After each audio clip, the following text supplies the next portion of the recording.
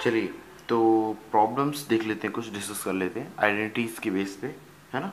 तो बहुत ही इजी प्रॉब्लम से स्टार्ट करता हूँ मैं। जैसे पहला मेरा बिल्कुल इजी क्वेश्चन है। आपको प्रूफ क्या करना है? सारे क्वेश्चन बस प्रूफ के ही होंगे, ठीक है ना? तो जो पहला क्वेश्चन है मेरा, ये वन प्रूफ करना है मेरे को, है ना? देखिए, इसमें कुछ खास नहीं है। Sec square theta sec square theta को मैं चेंज कर सकता हूँ, पर ये सिंगल फॉर्म में है तो कोई ज़रूरत नहीं है। One minus sine square theta ये चेंज हो सकता है। ये मुझे याद है कि ये मेरे जो आइडेंटिटीज वाले सेक्शन में one minus sine square theta की वैल्यू कुछ होती थी। One minus sine square theta कितना होता है? कॉस स्क्वायर थीटा तो यहाँ पे लिख दूँगा मैं। तो जो मेरा एलएचएस है, वो कितना हो जाएगा? Sec square theta into cos square theta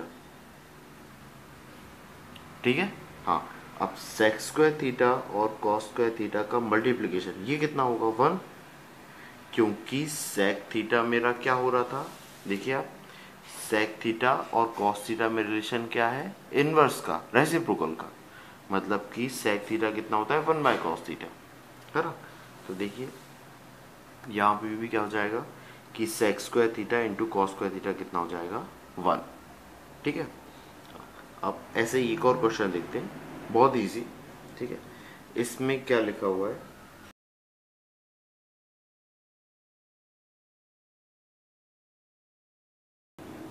हाँ इस बार मुझे क्या प्रूफ करना है? Sec theta plus one divide by sec theta minus one equal to cosec theta plus cot theta का स्क्वायर है ना? अब ये मुझे प्रूफ करना है, ठीक है? अब इसमें मैं क्या कर सकता हूँ? इसमें मैं करने को बहुत कुछ कर सकता हूँ, पर मेरा सजेशन होता है सबसे पहला कि अगर आपको कोई भी ऐसी चीज़ दिख रही है कोई ट्रिग्नोमेट्रिक फ़ंक्शन प्लस वन और नीचे ट्रिग्नोमेट्रिक फ़ंक्शन माइनस वन इस टाइप का कुछ भी दिख रहा है है ना? या प्लस माइनस का ऐसा कोई भी फॉर्म दिख रहा है तो आप रेशलाइज करो। रेशलाइज करने में आपका आंसर थोड़ा जल्दी आता है है ना? उन केसेस में स्पेशली उन केसेस में जिसमें आपको प्रूफ करना हो, ठीक है? तो देखिए, इसमें अगर मैं रेशलाइज करूँ ऑब्वियसली मैं रेशलाइज किससे करूँगा? Sec theta minus one denominator में है तो सेक थीटा प्लस वन से मल्टीप्लाई डिवाइड करूँगा। तो ये रिलेशन कुछ ऐसा आएगा। ठीक है? ये रिलेशन ऐसा है। ठीक है? अब देखिए, इसके बाद में sec theta minus one into sec theta plus one ये हो जाएगा sec square theta minus one है ना? और ऊपर कितना हो जाएगा? सेक थीटा प्लस वन का होल स्क्वायर आप एक बात नोटिस कर पा रहे होंगे कि sec square theta minus one मुझे पता है आइडेंटिटीज में क्या होता है। ये होता है टेन स्क्वायर थीटा ये क्या होता है? टेन स्क्वायर थीटा यहाँ पे लिख देता हूँ मैं।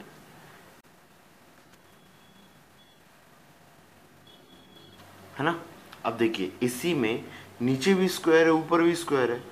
तो ऐसा करता हूँ, पूरी टर्म को एक स्क्वायर के अंदर अंदर ले लेता हूँ। तो ये कितना हो जाएगा? ऐसा कुछ, अब अगर मैं इसे स्प्लिट कर लूँ तो ये कितना आ जाएगा? Sec theta upon tan theta plus one by tan theta ठीक है? अब टेन थीटा यहाँ पे आप अगर टेन थीटा देखोगे, ये टेन थीटा तो ये टेन थीटा होता है एक्चुअल में sine theta by cos theta है ना? तो sine theta by cos theta होता है। और यहाँ पे अगर मैं इसे पुट करूँ sec theta by tan theta में टेन थीटा मेरा sine theta by cos theta put करूँ, और सेक थीटा को one by cos theta put करूँ तो ये वाली चीज़ मेरे को क्या दे देगी कौशक थीटा कितना? कौशक थीटा आप इसे सॉल्व करेंगे कौशक थीटा ही आएगा। और वन बाय टेन थीटा कितना होता है? कॉट थीटा ठीक है? तो ये मेरा प्रूफ हो गया। ये बहुत ही इजी क्वेश्चन था। ठीक है, आप इसे ट्राई करेंगे। बहुत इजीली आप इसे क्रैक कर सकते हैं। ठीक है? अब एक और क्वेश्चन देखते हैं हम लोग। ठीक है बिल्कुल इसी से रिलेटेड है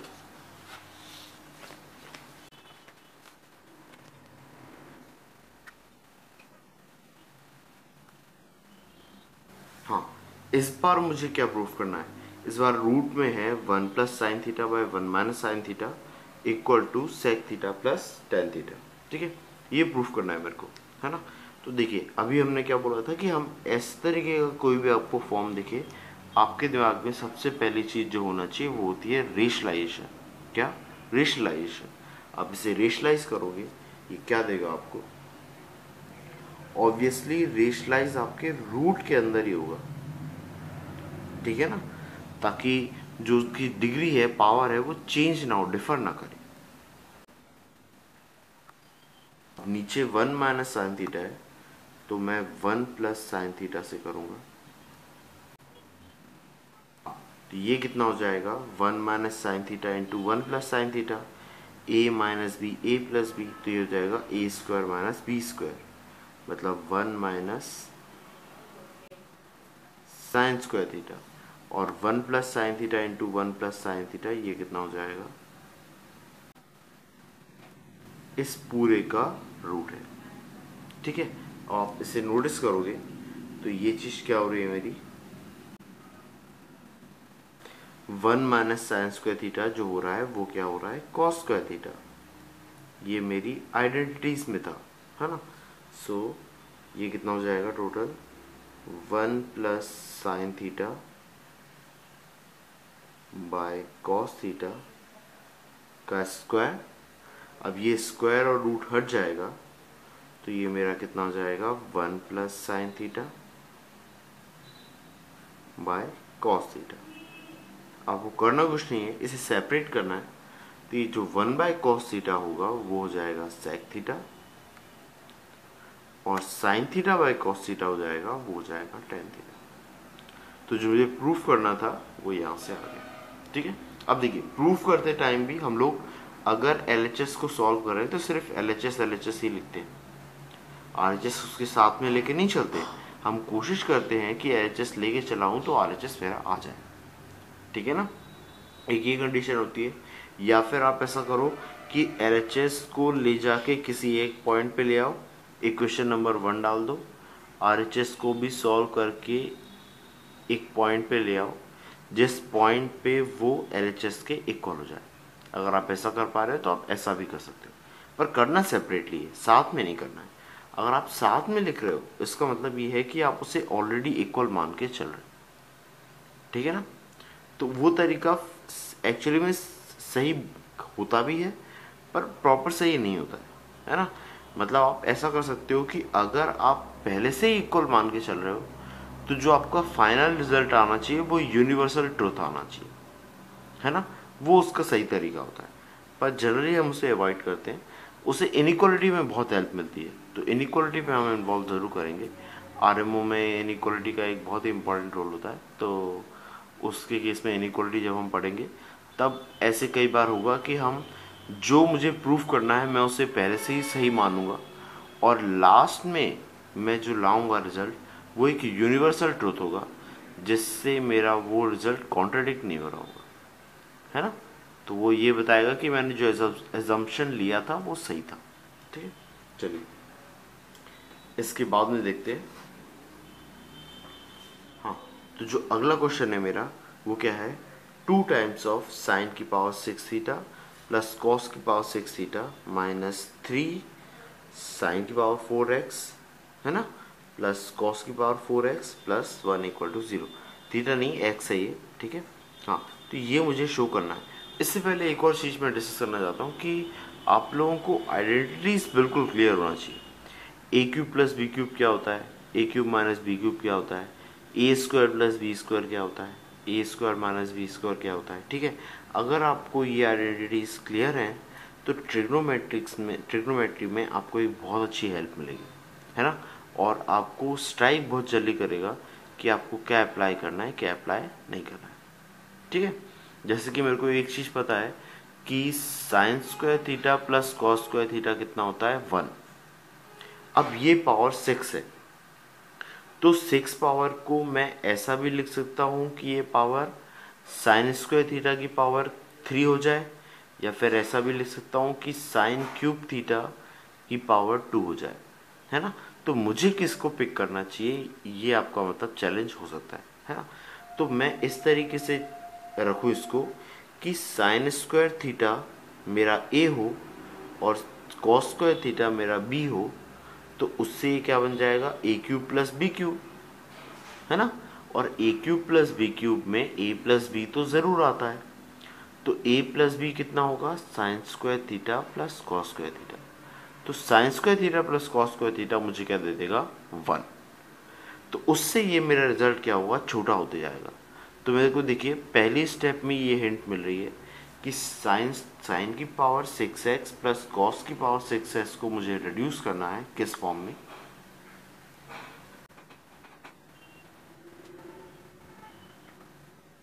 इस फॉर्म में, है ना? साइन स्क्वायर एक्स की पावर थ्री और कॉस स्क्वायर एक्स की पावर थ्री अब A cube plus B cube क्या होता है? ए प्लस बी का whole cube minus three A B into A plus B ये मेरा फॉर्मूला होता है और यही फॉर्मूला यहाँ पे यूज़ होगा। ठीक है? हाँ सेम चीज़। यहाँ पे अगर मैं नोटिस करूँ तो इस साइन की पावर फोर एक्स है प्लस कॉस की पावर फोर एक्स है। इसको भी मैं इस फॉर्म में लिख सकता हूँ। इस पूरे को मुझे क्या इक्वल प्रूफ करना है? ज़ीरो है ना? इस पूरे को ट्राई करते हैं। तो आप नेक्स्ट टाइम से आपका दिमाग बिल्कुल सेटल हो गया है कि हाँ ठीक है, मुझे साइन स्क्वायर एक्स और कॉस स्क्वायर एक्स के फॉर्म में लाना है। है ना? क्योंकि इनका सम कितना होता है? वन ऐसा क्यों? ये आइडेंटिटी है। ये कहाँ से आई? पाइथागोरस से। ठीक है? हाँ। आगे प्रोसीड करते हैं। क्या फॉर्मूला बताया आपको? A cube plus B cube का ए प्लस बी का होल क्यूब मतलब कि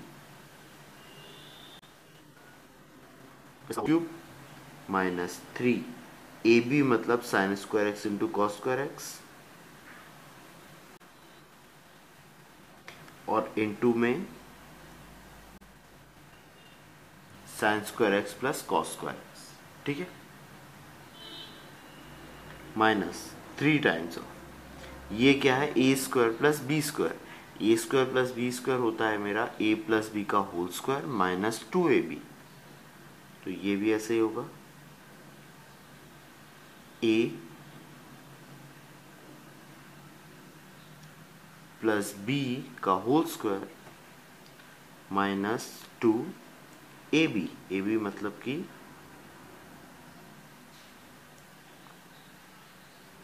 sine square x plus sine square x into cos square x ठीक है? प्लस वन अब देखिए वन किसे किसे रखना है? इसे वन रखना है। इसे वन रखना है। है ना? इसे वन रखना है। ठीक है? ये कितना होते जाएगा?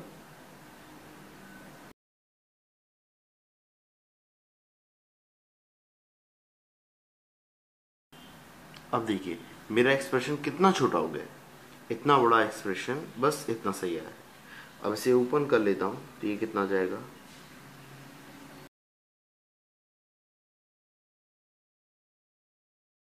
अब देखिए, ये minus six sine square x cos square x है और ये plus six sine square x cos square x है। ये तो कैंसिल आउट हो जाएगा। अब two minus three minus one होता है और माइनस वन प्लस वन कितना होता है? ज़ीरो। तो ये कितना जाएगा? ज़ीरो। तो फाइनली ये प्रूफ हो गया, है ना? तो आपको क्या ध्यान रखना था? मैंने ये क्वेश्चन इसलिए चुना ताकि आपको आइडेंटिटीज़ का इम्पोर्टेंस मतलब वो हो। मतलब इम्पोर्टेंस पता चले आपको कि आइडेंटिटीज़ आपको ज़रूर पता होना चाहिए इस चैप्टर के स्टार्ट होने से पहले। ठीक है? आपको अगर आइडेंटिटीज़ क्लियर हैं तो दोनों तरफ़ से ट्रिग्नोमेट्री की आइडेंटिटीज़ भी और अलजेब्रा की आइडेंटिटीज़ भी, है ना? अगर वो क्लियर हैं तो आप क्वेश्चन में बहुत जल्दी आगे प्रोसीड कर पाओगे। ठीक है? आप कोई भी क्लास में हो, आप अगर टेंथ में हो इलेवेंथ में हो आइडेंटिटीज़ क्लियर हैं तो आप लोग बहुत जल्दी क्वेश्चन में आगे बढ़ लोगे ठीक है?